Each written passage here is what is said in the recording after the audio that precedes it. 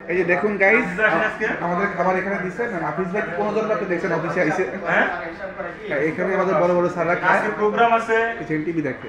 আর এই যে বড় স্যার চলে আসছে বড় স্যার এখানে বসে।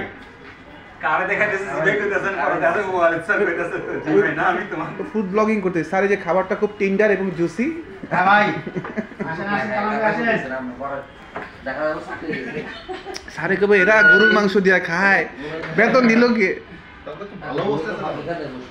আমি কোন স্যার ওরা বেতন পাইছে আমি বেতন পাইনি। গত রবিবারও এরা খাইছে গরুর মাংস দিয়া আজকেও খাইছে। সোমবার সোমবার।